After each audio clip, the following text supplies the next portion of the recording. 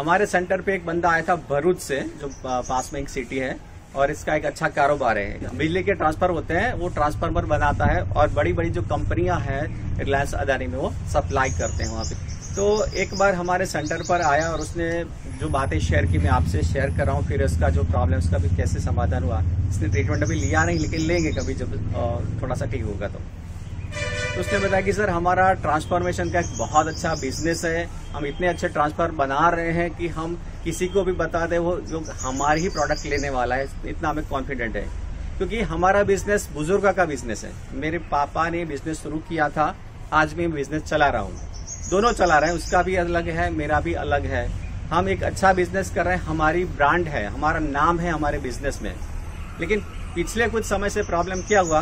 पहले नहीं था। पिछले कुछ समय से ऐसी प्रॉब्लम चल रही है कि मुझे काम पर जाने में इंटरेस्ट ही नहीं आ रहा है। वहाँ पे मैं कुछ देर जाता हूँ, फिर तुरंत मैं वापस लौट जाता हूँ। तुरंत ऐसा लगता है, चल, घर पे चलते हैं। यहाँ पे मेरा काम ऐसा है कि मुझे जाना ही पड़ेगा। मैं जाता नहीं, ऐसा तो है नहीं। हर रोज मुझे काम पे जाना ही जाना है। कुछ देर रुक के मैं घर पे आ जाता हूँ, कमरे में बैठता हूँ, कमरे में अपने आप को अंदर कमरे में बंद कर देता हूँ, दरवाज़ा बंद करके घंटों तक मैं बेड में लेटा रहता हूँ विदाउट एक्टिविटीज़ ये हाल हुई है मेरी। तो मैंने पूछा कि क्या ऐसी कोई प्रॉब्लम है, या कि ऐसा कोई डाउन हुआ है बिज़नेस में डाउनफॉल हुआ है, या ऐसे कोई इंसिडेंट ऐसा कुछ भी नहीं है। बिज़नेस जिस तरह से चल रहा है, मंदी के हिसाब से थोड़ा बहुत डाउन है, लेकिन इससे कोई प्रॉब्लम नहीं है। बाकी सब कुछ बढ़िया है। बस एक प्रॉब्लम फैमिली रिलेशन की थोड़ी है, लेकिन वो भी इतनी नहीं है। आज डर घबराहट की प्रॉब्लम इतनी फेस होती है कि जब भी मेरे मोबाइल में कोई कॉल आता है, डर घबराहट जिसने बात की तो सर मुझे अब इतना डर घबराहट लगने लगा है कि किसी भी कॉल आती है तो मुझे ये लगेगा कि हमारा माल रिजेक्शन हुआ, रिजेक्शन होगा तो इसका डर मेरे दिमाग में हमेशा रहता है। कॉल किसी की भी हो, लेकिन पहला ख्याल क्या आता है कि हमारा प्रोडक्ट रिजेक्ट हुआ है, हमारा माल रिजेक्ट हो जाएगा, ऐसी डर हमेशा रहती है।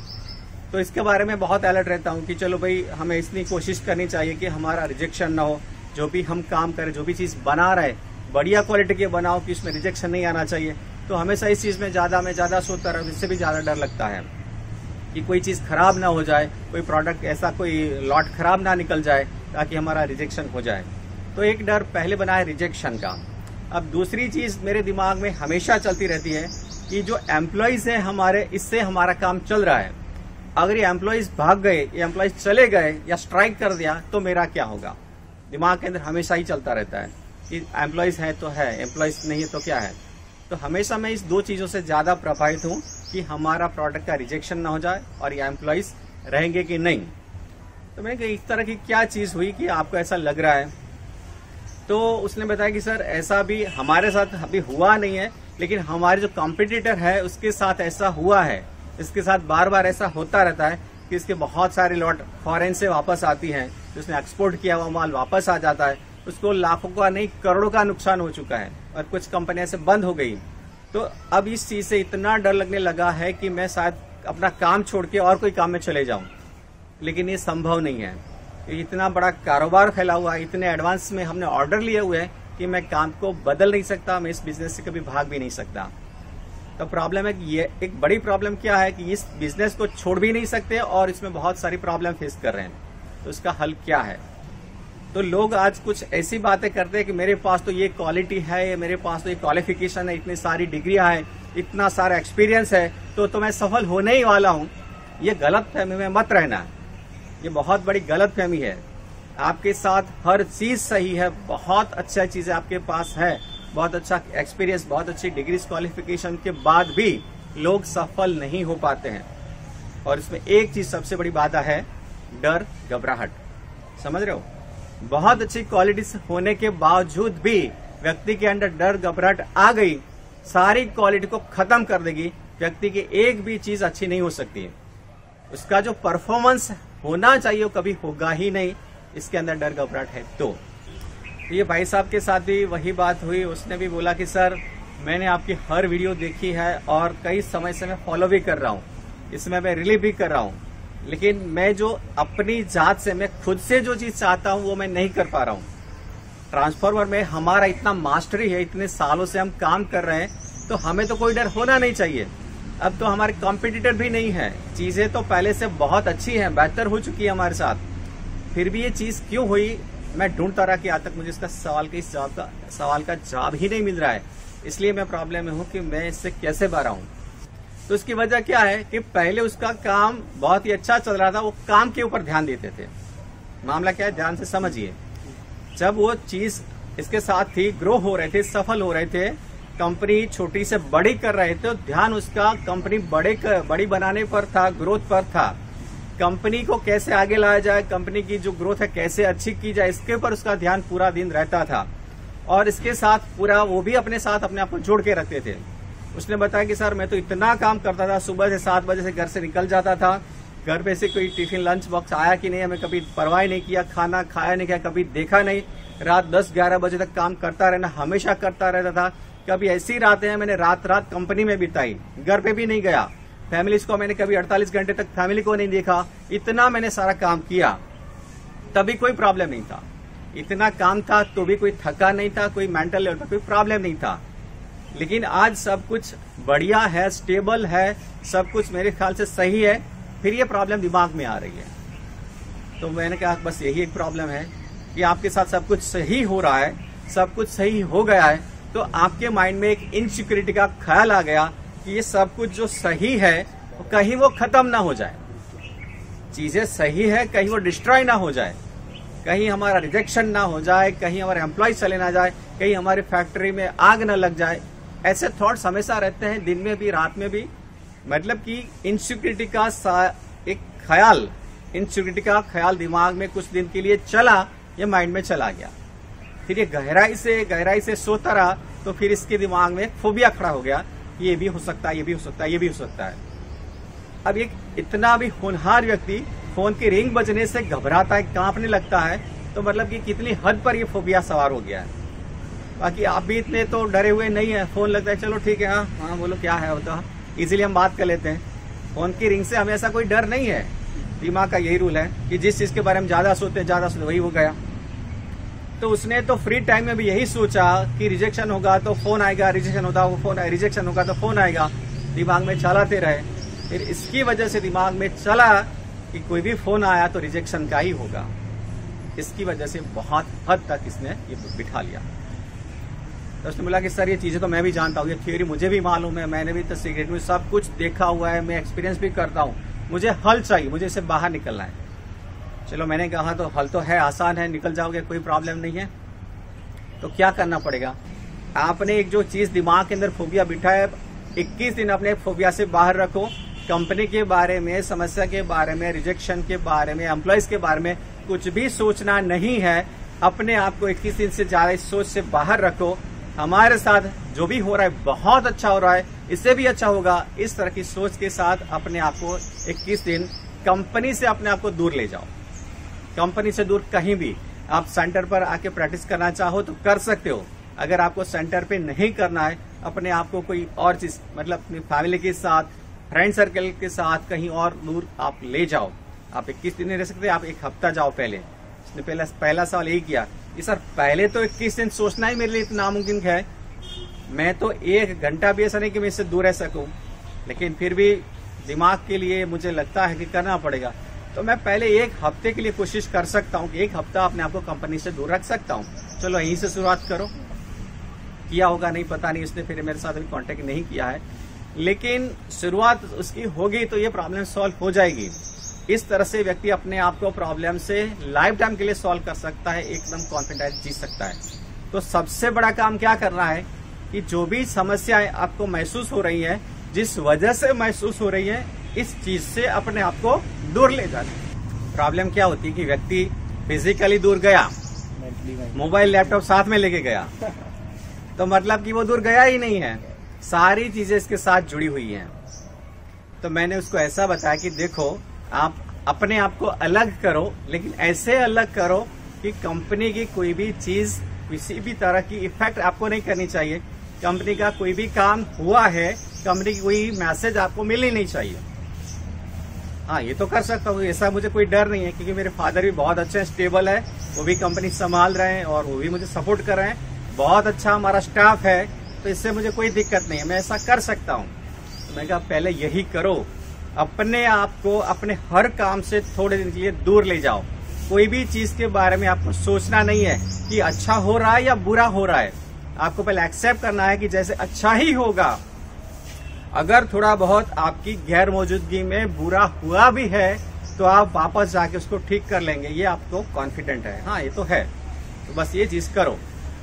तो अगर आपके साथ भी ऐसी कोई चीज़ होती है कि आपको कोई परेशानी, कोई भी एक ऐसी चीज़ आपको बहुत परेशान कर रही है तो इस चीज़ से अपने आप को थोड़ा दूर ले जाओ। दूर ले जाके अपने आप को फ्री करो, देखो कि आपके माइंड से वो चीज़ें धीरे धीरे डर घबराहट निकल जाएगी निकल जाएगी और कुछ समय ऐसा आएगा, कुछ दिनों के बाद एक समय ऐसा आएगा कि आपके दिमाग में कोई डर घबराहट ही नहीं है। लेकिन प्रॉब्लम कब है कि जब आपने समस्या को साथ कनेक्ट रखा है? समझ रहे हो? आप अपने प्रॉब्लम से आप दूर होते ही नहीं हो तो समाधान संभव ही नहीं है। आप चाहो लाख कोशिश कर लो, दिमाग से वो प्रॉब्लम निकलने वाली नहीं है, आपका प्रॉब्लम सॉल्व होने वाला नहीं है। तो इस तरह से अपने आप को प्रॉब्लम से थोड़ा दूर करने की ज़रूरत होती है। आप कोई भी काम कर आप एम्प्लॉयज़ हैं या आप बिजनेसमैन हैं, जो भी हैं, दिमाग को आप ये हमेशा बताइए कि मेरा काम दी बेस्ट है, मेरा परफॉर्मेंस एक्स्ट्राऑर्डिनरी है, मैं लाजवाब हूँ। मेरा हर काम बहुत ही शानदार रहता है। ये चीज़ दिमाग को आप देते रहिए। आपका कभी भी रिजेक्शन नहीं होगा कंपनी में भी नहीं, आपके प्रोडक्ट का भी नहीं होगा। अगर ये चीज़ के साथ आप काम करते रहे तो। लेकिन जिस दिन आपने आपने आपको गिराना शुरू किया, अपने आप को कमज़ोर मानना शुरू किया, अपने आप को आपने खामियों की और अपनी खामियों को देखना शुरू किया, वहीं से आपका पतन शुरू होगा।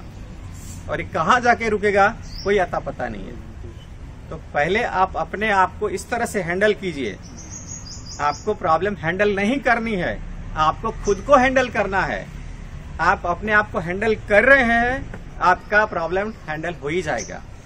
प्रॉब्लम की समाधान में मत जाइए। इसमें नहीं उलझना है कि प्रॉब्लम कैसे सोल्व होगी। अपने आप पर काम कीजिए। बस मैं ऐसा व्यक्ति हूँ। हर चीज़ आपके साथ सही हो। सारी समस्याओं की जड़, डर और घबराहट है। कि कोई भी व्यक्ति की सक्सेस के बीच में सबसे बड़ा रोड़ा होता है डर और घबराहट। और आपने इससे जीत लिया। आपने डर, घबराहट को जीत लिया, आपको सक्सेस होने से दुनिया की कोई ताकत नहीं रोक सकती। जैसे मैंने बताया कि बहुत होनहार लोग होते हैं, बहुत एक्सपर्ट बहुत ही क्वालिफाइड लोग, वो भी अपना परफॉर्मेंस नहीं कर पाते हैं और अपनी इच्छित सफलता हासिल नहीं कर पाते हैं।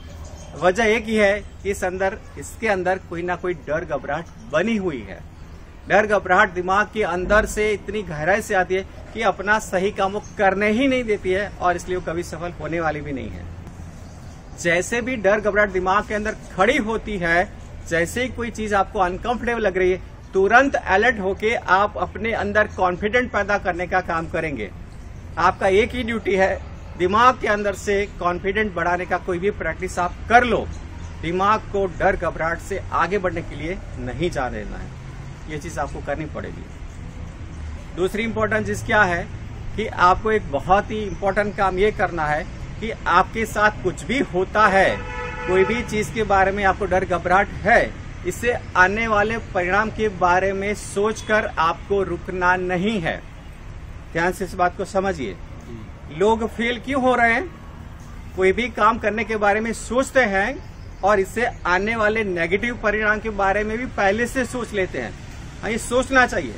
लेकिन सोचने के बाद परिणाम गलत आता हुआ दिख रहा है तो अपने आप को रोक लिया कि नहीं यहाँ तो रिज़ल्ट नहीं है यहाँ तो हम फेल हो रहे हैं तो अपने आप को रोक लिया।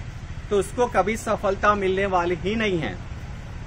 तो सफलता के लिए सबसे इम्पोर्टेंट चीज़ क्या है कि आपको पता है कि उसमें फेलियर के चांसेस हैं, असफलता के चांसेस बहुत ज़्यादा है। फिर भी आप इसके लिए काम कर रहे हैं एक्शन लेते हैं तो वहाँ पे सफलता निश्चित है। आज नहीं तो कल। सफलता तो उसमें मिलने ही वाली है। अगर आपने डर होते हुए भी काम किया तो। क्योंकि आप रुक गए तो तो आगे का कोई चांस नहीं है, कुछ भी चीज़ हाथ में आने वाली नहीं है। लेकिन डर के बाद भी आपने काम किया तो उसमें शायद आप असफल हो भी सकते हैं, लेकिन इसमें सफल भी हो सकते हैं। और अगर आप सफल हो गए तो ये सफलता इतनी बड़ी सफलता होगी कि दुनिया देखेगी। ये सब होता है। लेकिन इसमें बहुत कम लोग ऐसा कर पाएँगे। ज़्यादातर नहीं। बड़े बड़े जो इंडस्ट्रियलिस्ट है ना, वो इस तरह से सोचते हैं। असफल हो गए, बहुत सारा कुछ खत्म हो जाएगा, बहुत सारा लॉस हो जाएगा। अगर सफल हो गए तो बहुत बड़ा काम हो जाएगा। हम अभी दूसरे सेंटर की तैयारी कर रहे हैं। बहुत सारे प्रॉब्लम्स आते हैं। ये सफल होगा, कहाँ, कैसे कौन सी जगह, किस जगह पे सफल होगा, कौन सा लैंड सही है, क्या चीज़ सही, गलत। अभी से इतना दिमाग चलता नहीं है। बस करना है। जो भी होगा वहीं जाके पता चलेगा कि कुछ चीज़ सही हो रही है, कुछ गलत हो रही है। करने के बाद कुछ चीज़ें पता चलेगी कि ये सही था, ये गलत था। हर चीज़ आपको कभी पहले से पता चलती ही नहीं है कि क्या सही, क्या गलत। व्हाट्स राइट व्हाट्स रॉन्ग कभी आज तक किसी को पहले से पता चला ही नहीं है। काम करने के बाद ही पता चलता है। तो आप काम करोगे तो पता चलेगा ना कि कुछ गलत भी था। काम करने से पहले आप ये सोचेंगे कि गलत हो जाएगा तो क्या? इसके लिए आप काम रोक लेते हो तो तो कोई चांस ही नहीं है। तो इस तरह से रुकने का नहीं। हाँ जो लोग एम्प्लॉयज़ इसके लिए शायद वो प्रॉब्लम नहीं होगा लेकिन एम्प्लॉयज़ के साथ कुछ काम करने के बारे में सोच रहे हैं कि हाँ मुझे थोड़ा सा और कुछ करना चाहिए। तो लोग इस वजह से रुके हुए हैं कि हम सब कुछ सही कर ले। हर चीज़ हमारे लिए सही हो जाए फिर कुछ कर लेंगे। थोड़ा सा रिस्क लेने की कोशिश करो। रिस्क के बिना तो कुछ होने वाला नहीं है। हाँ इसमें असफलता की चांसेस है। ये चीज़ पहले से मानकर ही चलना है, कुछ प्रतिशत असफलता है ही। मिलने ही वाली है। हमारा असफलता का सामना होने ही वाला है। और इसके साथ आप चल रहे हैं, काम कर रहे हैं। सफलता बहुत जल्दी हाथ लगेगी, बहुत जल्दी। फ्रेंड्स ये वीडियो आपको अच्छा लगता है तो इस वीडियो को लाइक कीजिए, अपने दोस्तों के साथ और अपने हर ग्रुप में इस वीडियो को ज़्यादा से ज़्यादा शेयर कीजिए, ताकि हर व्यक्ति हमेशा के लिए पॉजिटिव रहे, स्वस्थ रहे, खुश रहे और कॉन्फिडेंट रहे। इस वीडियो के बारे में आपकी राय हमें कमेंट में बताइए। और आप हमसे कैसी वीडियो चाहते हैं, ये भी हमें कमेंट में बताइए, ताकि हम आने वाले समय में आपको इस पर वीडियो दे सके। अगर आपने हमारे इस चैनल को सब्सक्राइब नहीं किया है तो चैनल को सब्सक्राइब कीजिए और बेल आइकन को हिट कीजिए, ताकि आने वाले हमारे वीडियो की नोटिफिकेशन आपको हमेशा मिलती रहे।